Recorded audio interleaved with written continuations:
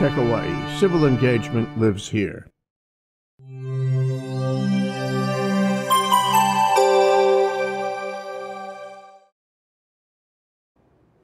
Aloha and welcome to Talk Story with John Waihe'e. We got another great show for you all today. You know, I know I keep saying that, but today is special, special. I have as my special guest this afternoon to talk to all of us, Mr. Don Chapman. Hello, John, Governor. How nice are you? you? It's it's fantastic to have you. You know, you're you're first of all, you are a well-known um, journalist in Hawaii, right? I, I, think you worked for years with the. Uh, uh, 13 years as a daily columnist at the Advertiser. Yes. And uh, 22 years as Midweek's editor. And you built, you helped build Midweek into one of the major publications I, in Hawaii. It became the best read paper in the state of Hawaii with more than a half a million readers. Well, I tell you what, a lot of people don't realize that you also have a, you know, a bigger life in the sense that you're also an author. This is actually book number 10, uh, The Godfather, the story of Larry Mehau, in his own words. It's the good father. Did I say Godfather? Yes.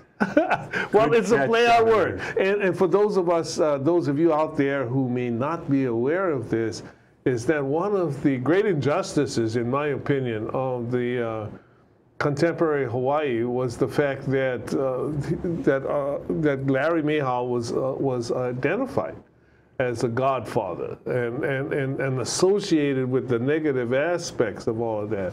And oh, but your book is called The Good Father. Now, tell us how. Well, first of all, eh, which means, folks, it's a vindication of uh, of a good man. But tell us how you got started with this. How? Governor, first of all, I want to say that there's a chapter that I did with you, and it's one of my favorite chapters and some great stories, and I hope you'll be able to tell one later.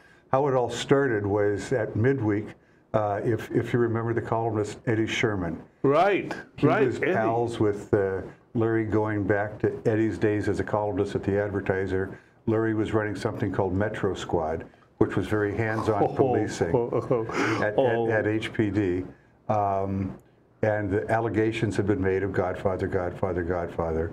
And Larry, Eddie set up an, an, interview with Larry at his ranch on the Big Island, and it turned into a two-part midweek cover story. Okay, good.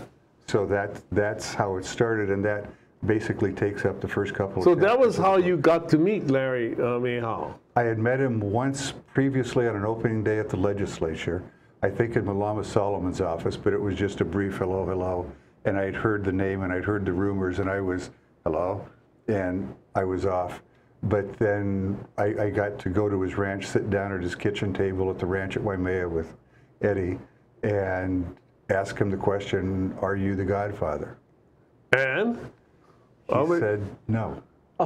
You know, and, and it's and I love your book. Okay, I want to talk a little bit about the format of your book because the first half of your book and, and folks, this, this is really interesting stuff. I mean, I, I had a chance to read it uh, this weekend. And, and um, you know what you do when you read some, some book? You look for, you know, the part of, that you say something. And then you go back and you start reading it. And I, I just read it. I read it all. I mean, it's just it's, it's, it's fantastic because it starts off, half of the book starts off with Larry telling his own story, where he grew up, who his family was, what you know the whole the whole bit, which is so fascinating. And then you take them about I think about eleven or twelve different people. About twenty. Twenty people, and and you have little vignettes about their interaction with uh, with with uh, Larry Mehau. And not all of them co- could be considered close friends. Not all of them at all. In fact, one of them was his arch enemy. Tell us how this whole thing about the Godfather got started. It started uh, 1977. If you remember, a journalist named Scott Shirai. Oh, Scott, yes. Actually, a good journalist. I, I, he was a great journalist. Had a long list of sources, and on the KHON News, when it was then an NBC affiliate, he reported that the head of a state board had been involved in a heroin bust at Punchbowl Cemetery. Right. And he didn't name names, but, but I tracked Scott down. He's now in Cleveland. And he said, I knew who I had in mind, and it was Larry.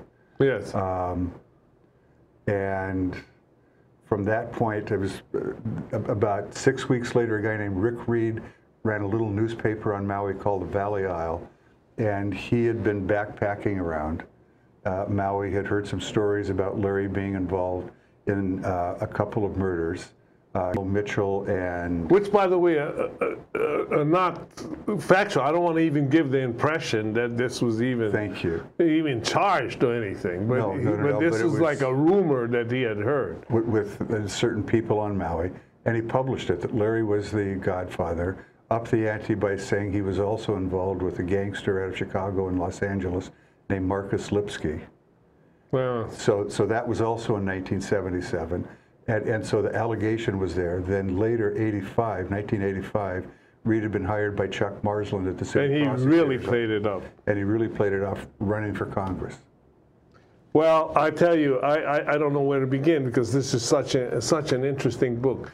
But uh, and what the book does is is show that that is not correct. That if anything, that Larry's role in law enforcement was. Uh, very much on the side of enforcing uh, the law as a policeman and then acting as a, uh, I guess you would call it community outreach person or something. That's a good way of putting you it. You know? When, when, when Larry was named to head something called Metro Squad, there was 12 guys, big local guys, and he put them through martial arts training before they went out every night. Each guy had his own car. They're dressed in jeans and aloha shirt and they would crack heads if need be and do. Yeah, it was a time when there were tough cops. When when there were a lot of tough cops, you know. And they needed to be. Um, well, I, I, tell you what, I, I I I know who the Metro Squad was. I grew up going to school when the Metro Squad was in its peak, uh, uh, you know, in in Honolulu. And guys, I, I, never knew until years later that Larry Mehau was part of this Metro Squad, but I knew who the Metro Squad was. And they all wore these white kids, you know, these white kids. They would wear white kids, and you would be on the beach, you know, doing what teenagers shouldn't do, like drinking or doing something else on the beach. And all of a sudden, you'd see white kids coming, and you'd be gone. You would disappear. You would be gone. And so and by the way, they weren't just, they didn't just uh, throw people in jail. I mean, what they did was keep places safe and, and it, yes. it, it, was a it was a different Hawaii, but it was a, a, place where you you know you just wouldn't do something that you shouldn't if you were in their territory. Just, and, and people understood Larry. I mean, excuse me. Eddie Sherman tells a, a, a great story in the book. He, he was doing a ride along with Larry one night, and Larry had heard a rumor that there was going to be a gang fight at a downtown dance hall. I, I don't think they have dance halls anymore. Oh, right on Hotel Street. I, I you see, you, you got to remember, you're talking about my era, and so I know exactly where this dance hall was. And you know? so Larry goes up to the microphone and he goes, "Folks, we understand there's going to be." A gang fight tonight. I want everybody to line up against the wall, walk single file to the center of the room, and give up your weapons. and as Eddie Sherman explains it, you've never heard such a clanking of guns and knives and chains hitting the ground. And people did what Larry wanted them to do. Yeah, and, and, and that was good for Hawaii. And, and I guess Hawaii. what happened was that in the course of doing all of this, well, you get to know some of these bad guys, you know? Yes, exactly. Francis Francis Keala, the former chief of police here, told several people that Larry's reputation is a directly attributable to what Larry did at HPD. And HPD asked him to go out and mediate gangland disputes, syndicate disputes. And he'd go and sit down two tough guys who, as Larry says, you know, these guys, there's no backing down. Yeah. And he would talk to this guy, talk to that guy, and they walk out, shake hands, and they're pals. Well, that's wonderful.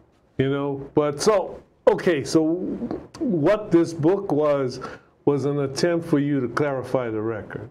I, That's I would exactly because right. it it it, it really talks about all these community-based things that he had done. You know. Yes, and, and and so he had the reputation. He was called Godfather, and it stung him. It hurt him. He was a big, tough guy, biggest and toughest guy I think I've ever met, and he was stung by this stuff, and yet. well, kept... it was so unjust. Thank you. It was so unjust, you know, and and I and I tell you, and I, you, uh, well, in my case, for example, um, you know, we, we weren't on the same side politically. In fact, he campaigned against me with uh, annoying regularity. Which is crazy because you're both from the Big Island. You We're both both have from we have great, backgrounds. great backgrounds. And by the way, but I never be, ever believed or saw any evidence that he was any of the things that people accused him of. In fact, it was the exact opposite. I mean, even my own family, my mom had an interaction with him, and he helped her. And she would, you know, no matter what they said about Larry Mehau, my mom, Mary Purdy Waihe'e, would immediately correct everybody and say, Mr. Mehau is a good man. And, and that's how, you know, and, and she told me, she used to tell me regularly, you always remember he helped your family, you know, and uh, so it stuck. So, you know, while he was campaigning against me, I had to sort of be nice, just so you know that. you And, know. and that's a story that's in the book, by the way, right? Yeah, and, and there's so many stories. But I want to hear about Larry. I want to hear about his life. So tell us a little bit about the guy So- growing up in Hawaii. So I'm, I'm very pleased. His family helped me with the book. I've got 50 photos of Larry uh, from a barefoot kid in Hilo with rolled up jeans, right, right on through. Um, he was the son of a single mom, born out of wedlock, and so Mehau was the mom's name. The father was a Big Five executive. yes. Larry's never named, and and I know the name, and I'm not going to name it. No. Um, so he, he came from that background. He came from a tough background. I mean, uh, uh, but a loving one, apparently. It a loving like. one. His mother's very native, native Hawaiian. And, and even though he grew up on the bayfront in Hilo, he, he loved horses and being a cowboy. And so every weekend, every holiday, every summer, he was up at Waimea riding horses and learning from the Paniolo up there. Right, right, and that's that, and, and so he he also took up sumo, Yes, he took up sumo. Um, aikido, and all the martial arts. Aikido. He was so good at sumo. He, he went on a tour of some local boys up to Japan. He competed in six tournaments and won five. Wow. So he- he's the the big. I mean, oh, you know what? What is it? Konishiki, Musashi Maru, Akebono. All of those guys are following in Larry's footsteps. And it started with Jesse Ku, Ku, Kuhaulua. Yes, Jesse. Right. Uh, Takamiyama. Yes, yes. Yeah. And so Larry had his friends in sumo that he met in Japan, and they said, look for some Big Island boys. And he knew Jesse on Maui, and he tried to talk him into it, and Jesse didn't want to go. And Larry said, what are you going to do? You're going to work on the plantation? Nothing wrong with working on the plantation. Yeah. But if you go to Japan, you're going to become a legend. You're going to become immortal. And which he did. And he did, and it changed the young man's life from changed Hawaii and our relationship with uh, with sumo and uh, and Japan for that matter. Yes, and, and so that led on to Akebono and, and the other local Well, I know one thing. I know that from you know I spend a lot of time in Japan, uh, you know, especially post governorship and, and even while I was governor. And I can honestly say that uh, Larry's name is gold in Japan. Yeah. I mean, people like him. They do business with. They trust him, and they have a legend about how much he can consume Beef, beef. prime beef steak. Yeah, it's like this Kobe beef type, Matsuyaki beef, and he would. Uh, well, there is right next to the Okura Hotel. There is this. Uh, there is this restaurant that shabu shabu restaurant. And if you're from Hawaii, and this is famous, it's a world, f- uh, I mean, famous Japanese shabu shabu. If you're from Hawaii, they'll immediately tell you about the big guy from Hawaii who consumes something like 27 plates or something. now you got to remember these are real thin, uh, which must have cost a fortune, but it was like I could delicious. And he was a big guy with big appetites. Yeah, I, I, I try to consume that much. I couldn't afford it. anyway, we're going to take a short break right now. And folks, come on back. We got more interesting stories to talk to you about about a great new book called The Good Father: The Story of Larry Mehau.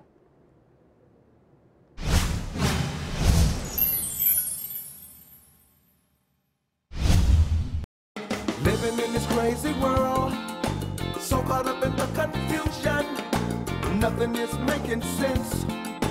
for me and you. We've got to give a little love, have a little hope, make this world a little better. Try a little more, harder than before. Let's do what we Aloha. I'm Marcia Joyner. And I'm Beatrice Cantelmo.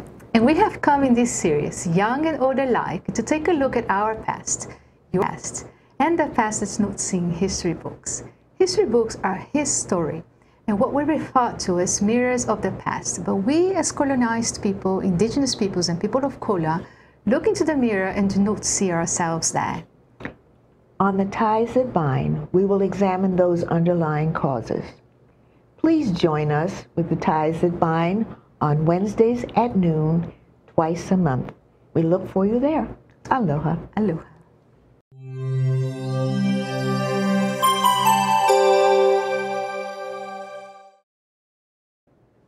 All right, here we are back with Don Chapman, the author of The Good Father, and thank you, Don, for being with us. Tell us a little bit about Larry and his family, and, and uh, so interesting people. I mean, he he's, he's got a lovely wife. Beverly uh, Rogers was the maiden name. They met at uh, Kamehameha schools. Larry came over as a boarder in the 10th grade at the boys' school it was then. Right. And Bev was a year ahead, but she started in seventh grade. They dated in high school. Larry graduated in 1948, Bev in 49. They got serious after that, and married in 51, um, and ended up having five children together. Wow. He had five children, right? And um, unfortunately, a couple of two of his three sons preceded him in death. And I believe, and several of the people that I spoke to about the story, including his wife Bev, believe that the Godfather allegations played a role in that. It just caused so much stress in the family. I can imagine. I can imagine. I know what it's like.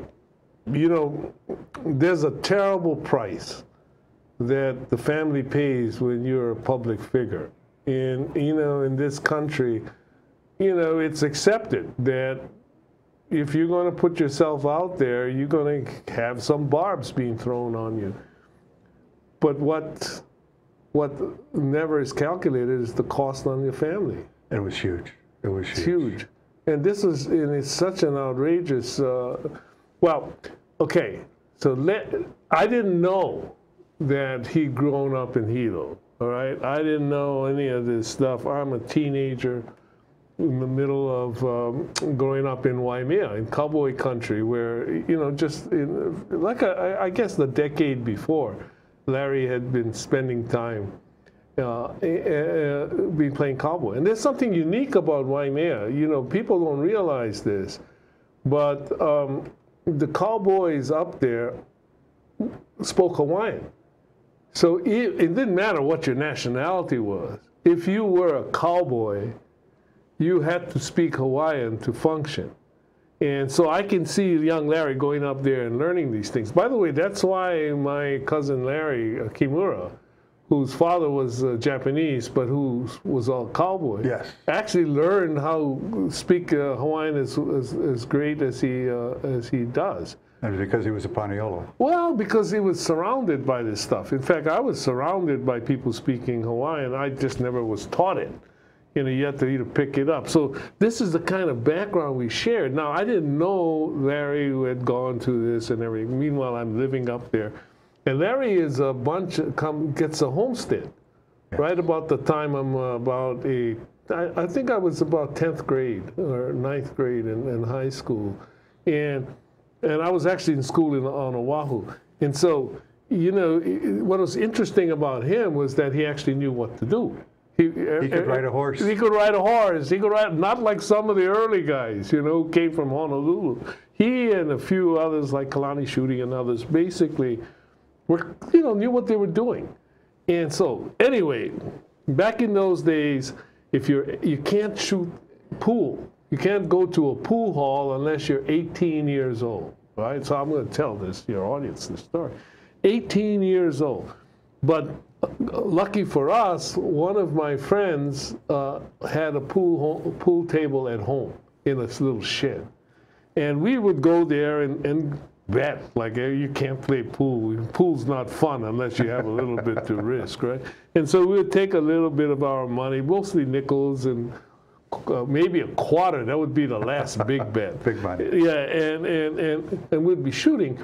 And all of a sudden, my friend's dad walks in with this big Hawaiian guy, and it's Larry Mehau, you know? And he, we were standing around, hello, you know, da da da da da. He said, you want to shoot, you know? So he shoots pool with us. And he takes all our money. He just wins. He's a good pool shooter. And um, when we were done, I was standing well, uh, sorry, we don't have any more money, you know, like this. And he's just in, and then he goes up and he said, well, okay, he puts the stick, over- he reaches in his pocket, takes out all the money he won, and he puts it back on the table. and he said, you know, and, he- and we're all looking at him, and he pushes it, and he says, very sternly, he says, that's why you shouldn't gamble. and he walks out, you know. And this is Larry Mehau, the famous Larry. This is my introduction to him. And that story's in the book. Yes, thank but you for that. I subsequently learned that he was part of the Metro Squad, which, by the way, i- i- you know, this is the disconnect. I'm, I'm, we play pool on in Waimea, but the Metro Squad is on Oahu, and I'm going to school on Oahu. That's how I know about the Metro Squad. You know, like uh, like I say, I guess in the book, if I had known this was, you know, in fact, I, even then, if he had told. None of you should be doing this. Get out of this room. I would have run through the wall. I think I told you that. I would have gone right through the wall. I mean, this was that kind of guy. So, you know, he, in a sense, really personified a generation of people from Hawaii that grew up in a different time, in a time of tremendous change. And he, he overcame a lot of barriers to become quite successful, you know, both as uh, personally and his family. He had a great family. I, I tell you, his, um, well, you, you know, his reputation is uh, very immaculate in that sense. Yes, and, and so sort of back to the Godfather charges, he was investigated as much as anybody in the state of Hawaii ever, ever has been. And nobody ever found anything that he did wrong. The FBI file ran to 2,000 pages, Wow. and they found nothing wrong. IRS looked at him, nothing wrong. HPD looked at him, nothing wrong.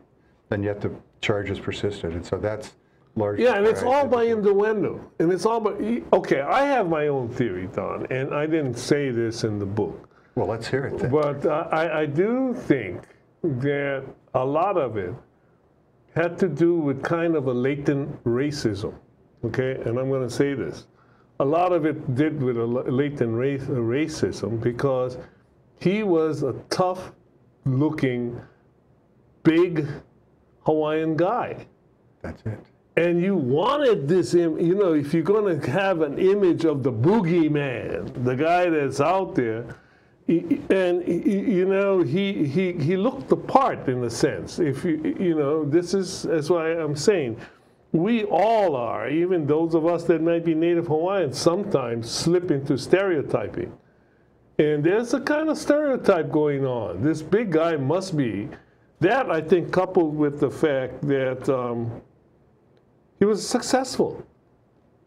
I mean, he- here's a guy, you talk about up from poverty, you know, he was a good businessman. I, I know for a fact, I, with some projects that I worked on years later, that, um, you know, the, what he had done with it, uh, not with me, but with others, was, was very, very intelligent, very good. He was a smart businessman. He was so you had a smart businessman that looked tough and could talk to everybody and ran a security company and it was like everybody that wanted a story loved to talk about this one Yes. but they don't realize how much it hurt Larry said it used to drive him crazy. He would walk into a room, into a restaurant, and heads would turn. Oh my God, you know who that is? And and you could see it. Or or I talked to somebody the other day. Larry walked into a big ballroom. Hush. Yeah, yeah. Well, here's the story, and I forgot about this story. So this is an original. This is an original. I'm governor of Hawaii. And I had this thing where I'd like to go out to these little hole in the wall restaurants and eat Hawaiian food. And there was this place way out in Kalihi called Leong's. Great, great luau stew.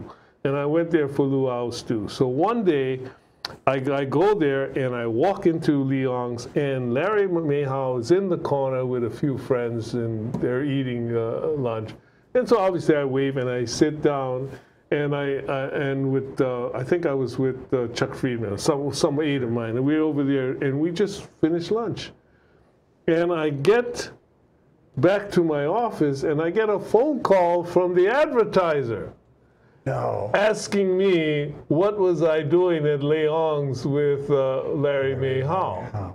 And actually, outside of saying, "Hey, Larry, how you doing?" You know, like this, we had no, no contact. So I can I can understand, Word travel that fast. yeah, the price that that uh, that, that, that was uh, was was uh, you know that the family would have to pay. By the way, uh, I don't want to get beyond this, but um, this book is coming out. Yes. Yeah, and you're going to have a few uh, signings. Yes, so Island forth. Heritage is the local publisher. and Island Heritage. Nice, nice uh, Kama'aina company. Yeah, good Kama'aina Company. I hope uh, you know support the the book and Kama'aina Yes. Company. So on uh, Saturday, May 5th at uh, 3 o'clock, there's a big book and music festival on the City Hall grounds. Uh, At 3 o'clock, I'll be doing a presentation and then a book signing at 4 at the Barnes & Noble tent. The following Saturday, May 12th, 1 o'clock, Barnes & Noble Ala Moana. I'll be doing a presentation and a signing there. And we're working on some other places as well to do signings. Well, fantastic. Why don't you um, why don't you just take a little something and uh, give us Well- a sense of your book? Let's just take it right to the end, Governor. Okay. And I'll pick this up in sort of what I call my, my afterthoughts. Uh, there, are, there, there- comes a time when a lack of any hard evidence requires a squaring of the record. The FBI file alone on Larry runs hundreds and hundreds of pages, really 2,000. And despite all of the bureaus investigating, proves no wrongdoing. Likewise for investigations from myriad other government agencies, Operation Firebird, which was HPD, and the Federal Drug Enforcement Administration, and Operation COCO, which was the IRS, among others. When a government agency labels an investigation an operation, it's a big deal. yes. If there were any punishable law breaking by Larry, don't you think there some career-minded prosecutor or AG would have pounced? Oh, right, they tried that and failed. Hmm. So that is what the good father attempts, the righting of a monumental wrong, lest it become eternal. Better late, I hope, than never. Fantastic. So everyone, the new book, The Good Father by Don Chapman. And, and it's the story of the life of Larry Mehau in his own words and a few others, actually 20 of us. Uh, many of us, like uh, Congresswoman Pat Saiki's in here. They were classmates in Hilo in the 30s. You got people like Walter Dods in here. Yes. Three governors, uh, Ariyoshi, Cayetano, and And myself. And, uh, well, just, and you even got Rick Reed, Tracked him down in Snohomish, Washington, his old, old hometown. the his old person that hometown, actually started the lie. Who started it. You know? And uh, so everybody's got a shot, and we get a chance to read about a good man. Thank you. Thank you, Don. Governor, thank you us. for helping with the book and for this opportunity. Well, I really appreciate your showing up there. And, you know, you're proud of anybody from my hometown. That's so right. here we are, Waimea Boys, one more time. That's it.